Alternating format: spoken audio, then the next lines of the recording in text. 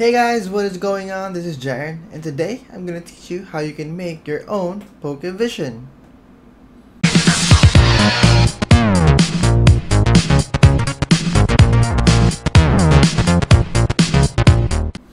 Alright, so some of you guys may be using Pokevision to, you know, uh, find your Pokemons, get to um, easily find the Pokemons around you, and apparently Pokevision has been down for a couple of hours, like, like maybe a day now, and uh, this is their latest tweet. It says that um, uh, we wish we had some news for you, but at this moment they are respecting Niantic's and Nintendo's wishes, and it is because of this news that uh, um, John Hanke doesn't really appreciate those uh, that Pokevision, so he says that I don't really like that, not a fan. Uh, this is um, a quote from uh, John Hanke.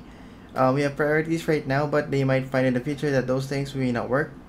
Uh, people are only hurting themselves make it because it takes some fun out of the game. People are hacking around trying to take data out of our system, and that that is against their terms of service. So yeah, and um, that's actually not fun for all, for all of us, especially with uh, you know this um, three-step bug before that they removed, and now you have no idea where the Pokemons are. Are you getting near the Pokemon? Are you getting farther the Pokemon? Or like you're going blind you're basically going blind. So yeah, um, it's a lot harder for you to um, catch Pokemons now. And I hope this uh, tutorial helps you guys.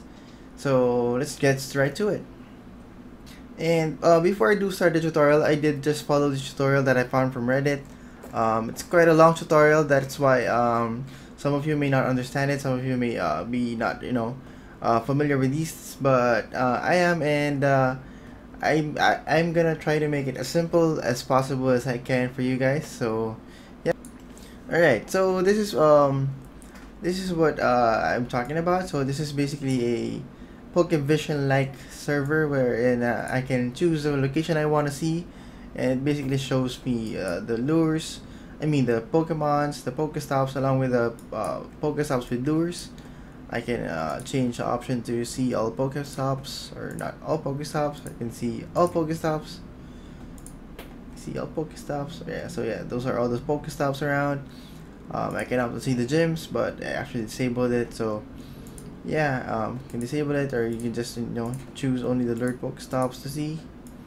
So now it's only gonna show me all lured Pokestops. So um, it's uh, it's somehow um, better. I mean, it gives more information than Pokevision. However, it's quite harder to you know navigate navigate because um, Poke, um, Pokevision is uh, is has uses a larger server and contains more data than this one. So uh, yeah, let's get started with the tutorial. Alright, to get things started, uh, the first thing you'll need are these three items right here. These are the only three things that you'll need to download. And once you've downloaded it, once you've downloaded them, um, just extract this file right here. Just uh, extract here. Uh, whether, you, whether you use WinZip or um, WinRAR whatever extraction tool you use it doesn't matter. Next is you have to install this one. I haven't installed this one so just click next. Um, remember this path right here. You have to remember that so just keep next next and it sh should install itself. And it might take a couple of minutes a couple of seconds I guess Let's just wait for that. So this is the tutorial that I'm actually actually followed. Uh, it's quite uh, it's quite long, and I'm not sure if you guys can actually follow this. I mean, not everyone can follow this. It's kind of confusing. A lot of people are actually asking some questions. They they're actually receiving some errors, and all that.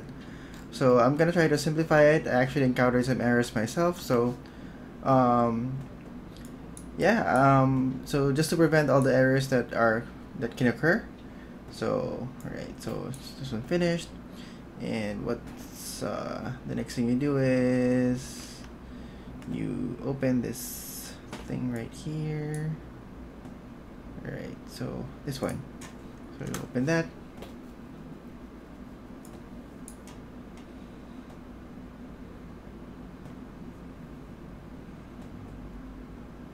just wait for it to finish. Should be a couple of seconds because I think it's just installing some stuff. Alright so it's finished.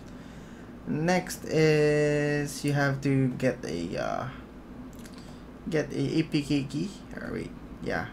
You have to get the APK key from here. So alright, so I forgot the link. So here I'm gonna link this uh, I'm gonna link this link in my description below just so you guys can do it yourselves. So here you have to go first. You first have to go here to credentials. Then you have to create a credential. So um, I think you have to first um, create a project or something like that. But um, you can do this. Get API key then select browser yeah credentials API key then select browser. Then select once you select the browser just type anything here. It's an example here. Just create. And you'll get this API key right here which you will need later on. So just keep that keep that API key. Just click OK. Just keep that. You're gonna see it right here. Should be right here. Alright so once you've got the uh, once you've got the API once you've got once you've got your API key you have to do this. You have to enable these settings so you have to go to um, API library. So you click this library right here. Then you go to um, Google Maps JavaScript over here. Uh, mine is already enabled just it should be enabled here. So yeah uh, mine is already enabled. Then you have to search for places then you're gonna have to see you're gonna see um, Google Places API you're gonna have to enable that as well. And you're gonna have to enable another one. Geocode right and you're gonna have to enable Google Maps geocoding API so again mine is enabled so you just have to enable right here. It's gonna be disabled. Cancel right. But yeah um, just have to make that enabled. And then let's go back to our files. Once we have that um, once we have that what do we do? I forgot. Alright so once that is that has been installed um, you remember the path that I uh, asked you to remember so that's C that's gonna be Python over here. And what you want to do is gonna copy this. Copy this python.exe copy that paste it right here So paste it right there and go to scripts over here. You see that pip.exe over here. Now hold down shift, click right click, and you'll see this open command window right here. Then uh, all you have to do is copy this one, which I will uh, also link to you. Paste that there. So so we have that. It should download a couple of files.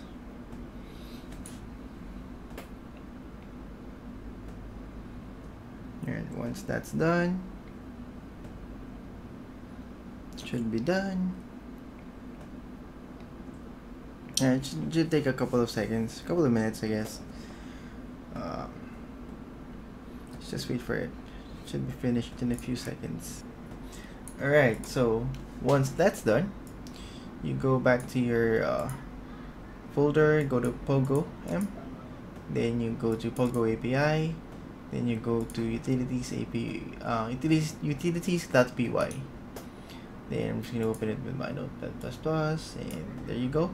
And for this section you're gonna have to um, put here your uh, put in there your uh, your key which you got earlier. And once that is done let's go back here. So we have our here we go back here uh, to our command prompt then we enter this. Enter that. So I'm just gonna copy that and paste it right there. So um, here after the dash a you have the option to use your Google account or your PTC I suggest you create another um, PTC account. Don't use your main account. Use a dummy account to uh, scout the Pokemons then. So create a new account from the Pokemon Trainers Club and create a new account and enter username right here remove those asterisks username right here then you enter your password right here then you enter the location let's say um, Sydney Sydney Sydney Australia so once that's done, you put the ST right is ST right there. Then try to enter that. Oh, okay. Um, you need the key to press dash K.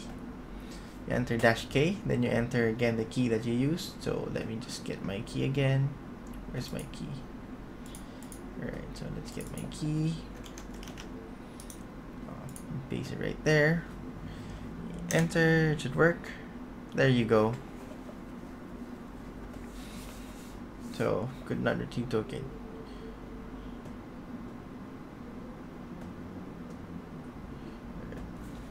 Okay, I guess I'm having failed to log in. Alright. Oh yeah, I forgot I didn't enter my proper username and password. But yeah, right. So um, I'm just gonna enter my username and password right here. I'm just gonna hide that. I forgot. I'm so sorry about that. I forgot that I entered dummy passwords. Right.